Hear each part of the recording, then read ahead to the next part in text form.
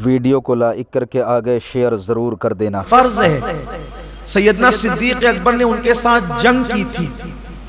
जिन लोगों ने अल्लाह के रसूल सलाम के विसाल के बाद जक़ात अदा करने से इनकार किया था सिद्दीक अकबर ने फरमाया था, मैं इनके साथ ऐसे ही जिहाद करूँगा, जैसे हम काफिरों पे जिहाद करते हैं। हत्ता के अगर दौरे रिसालत में ये ऊँट की नकेल और रस्सी भी बतौर जक़ात देते थे, अगर ये रस्सी भी रोक लेंगे तो भी मैं इनके साथ जय वो जिहाद करूँगा।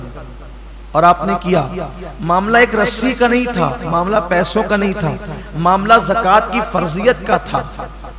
और जक़ात की फर्जियत इस्लाम के वो पाँच बुनियादी सुतूनों में से एक है, जिसका ज़िक्र अल्लाह के रसूल सलाम ने फरमाया कि इस्लाम की बुनियाद पाँच चीज़ों पर है, ईमान, नमाज़, रोजा, हज और जक़ात। ये पाँच सुतून है इस्लाम के मज़बूत।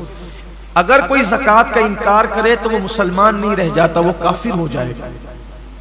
तो कुछ लोगों को जक़ात देने में मैं इतनी जक़ात कैसे दूँ? अल्लाह ने दिया अल्लाह ने तो फरमाया कि हमारी दीवी रोजी से, अल्लाह की दीवी रोजी से।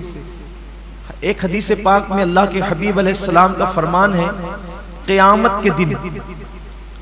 लोग देखेंगे कि बहुत बड़ा अजदहा है, जिसकी आँखों से आग निकल रही है और जिसके दांत लोहे के हैं, लोहे के दांत हैं उसके, और आग उसकी आँखों से निकल रही है। वो ढूंढेगा तो देखेगा कि एक बंदा जो जक़ात नहीं देता था, वो उससे मुखातिब होके कहेगा, तेरा दाया हाथ मेरी तरफ़ कर, ताकि मैं तेरा हाथ खा जाऊँ।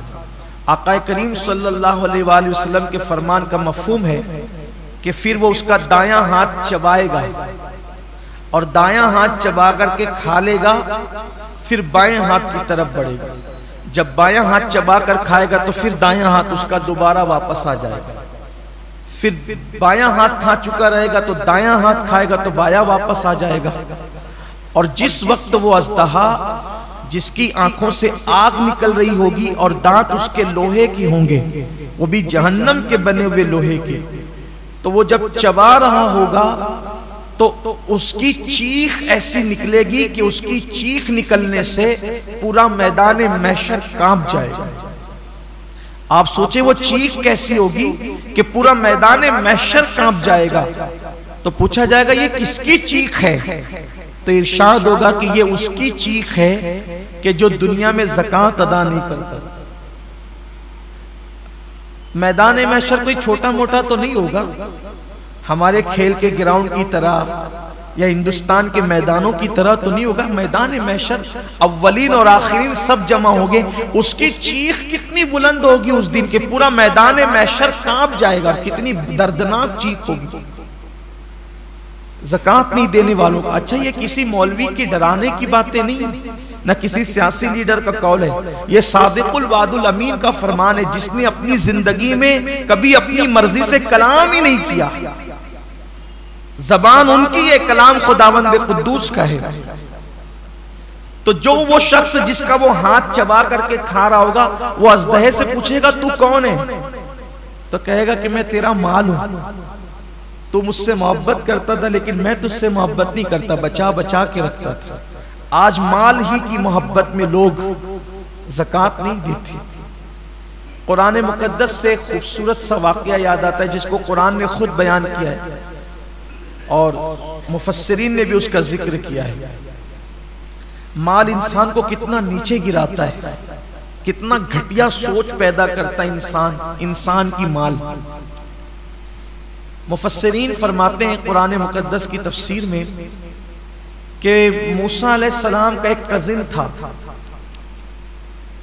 कुछ लोगों ने उसको खालाजाद भाई करार दिया है, लेकिन एक करीबी रिश्ता बताया है। उसका नाम था कारून। और कारून जो था, वो बहुत बड़ा दौलतमंद आदमी था, मालदार आदमी था, कारून। और वो तौरेत का बहुत बड़ा कारी था वो। यानी उसकी आवाज़ इतनी खूबसूरत थी, इतना पढ़ा लिखा बंदा था वो मूसा सलाम की कौम में। कि जब मूसा सलाम तौरेत सुनना चाहते थे किसी अच्छी आवाज़ वाले से तो कारून से कहते थे, तू पढ़। और कारून तिलावत करता था तौरेत शरीफ की। और मूसा सलाम उससे तौरेत सुनना पसंद करते थे। यानी इससे पता चला कि रिश्ते में भी मूसा सलाम का करीबी है और दीनदार भी है। भाई, बेदीन से तो हज़रत मूसा तौरेत नहीं सुनेंगे ना। यानी कि शान का आदमी था कारून, आप पहले ये समझ लें। लेकिन अल्लाह ने उसको बहुत दौलत दी थी। माल उसके पास इतना था, दौलत उसके पास इतनी थी कि उसकी तिजोरियों की चाबियाँ कई जानवरों पे लाद कर लाई और ले जाई जाती थी। इससे अंदाज़ा होता है कि जिसके पास चाबियाँ इतनी होगी तो तिजोरियाँ कितनी होगी, और जब तिजोरियाँ इतनी है तो माल कितना होगा उस दौर में? बहुत माल होगा उसके पास। कुरान ने बयान किया कि वो बहुत मालदार था। अब अल्लाह का हुक्म आया मूसा सलाम पर कि आप अपनी कौम से कहे कि वो जक़ात अदा कर। जक़ात देना है ढाई परसेंट माल से। वीडियो तो मूसा सलाम ने अपनी कौम से कहा कि भाई अब अल्लाह का ये कानून आया है कि जो मालदार लोग हैं वो अपने माल से गरीब लोगों को ढाई परसेंट जक़ात निकालेंगे। तो छोटे मोटे मालदार लोग थे, उन्हें तो कोई प्रॉब्लम ही नहीं था, उन्होंने तो देना ही था। सबसे बड़ा जो मालदार था, वो कारून था। कारून ने कहा कि मैं कल सोच के बताता हूँ। ये सोच के बताना, ये शैतानी चक्कर।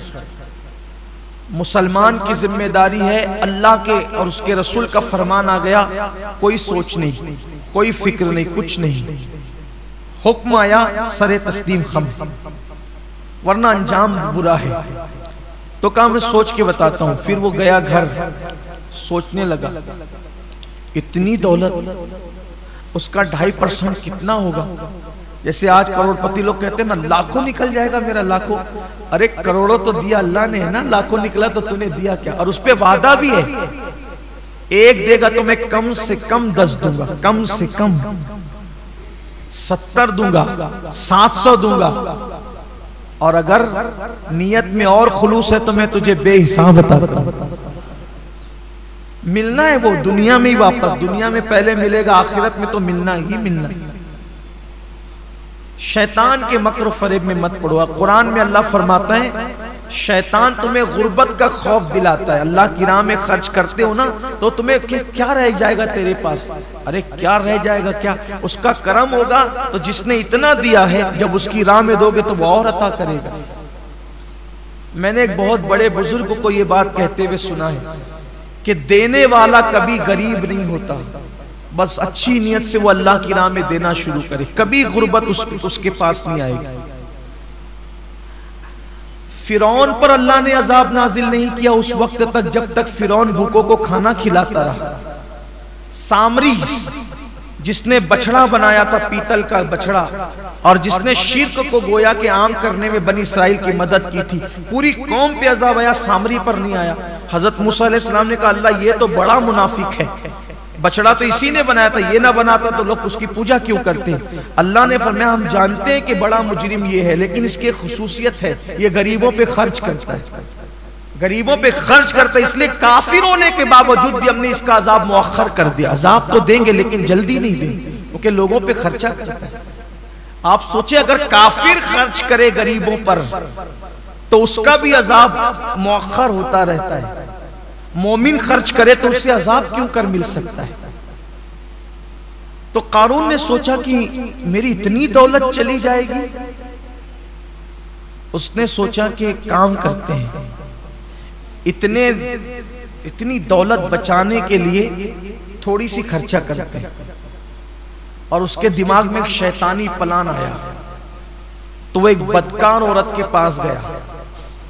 और उस बदकार औरत को कहा कि कल जब दिन में मूसा सलाम अपनी कौम के सामने खिताब फरमाएँगे जक़ात का कानून बयान करेंगे तो तू खड़ी होना और मूसा सलाम पे माज अल्लाह सुम्मा माज अल्लाह जिना का इल्ज़ाम लगा मैं तुझे इतने रुपये दूँगा इतने पैसे दूँगा। रुपये पैसे तो हम बताते हैं उस, उस दौर में जो भी सिक्के रहे लेकिन तुझे ये कहा, उसने कहा क्या मैं अल्लाह के नबी पे बदकार थी, लेकिन बेगैरत? कारून की तरह तो न थी कि दौलत के नशे में उसने इतना बड़ा फैसला कर लिया।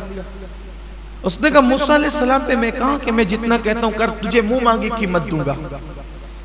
फिर दौलत के की बात आई तो वो भी जिस्म फरोशी के साथ साथ उसने जमीर भी फरोश कर दी। जब सुबह हुई, मूसा सलाम की महफिल फिर सजी। इससे पहले कि जक़ात का निकलता कारून खड़ा हो गया। एक मसला पूछना है, अगर कोई जिना करे शादीशुदा, उस पर क्या सजा होगी? मूसा सलाम ने फरमाया कि उसको संसार किया जाए। पत्थर से मार मार कर उसको मार डाला जाए। इस्लामी हुकूमत में यही सजा है। अगर इस्लामी हुकूमत हो तो यही सजा है। उसके बड़े कवानी ने लेकिन आसानी से जिना साबित नहीं हो सकता किसी का।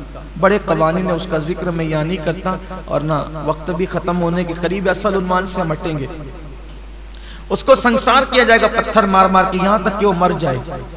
का ये कानून सिर्फ़ आवाम के लिए या आपके लिए भी है। अल्लाह के पैगंबर ने कहा ये अल्लाह का कानून सबके लिए तो कहा ये क्या कहती है? आपने फिर फरमाया कौन क्या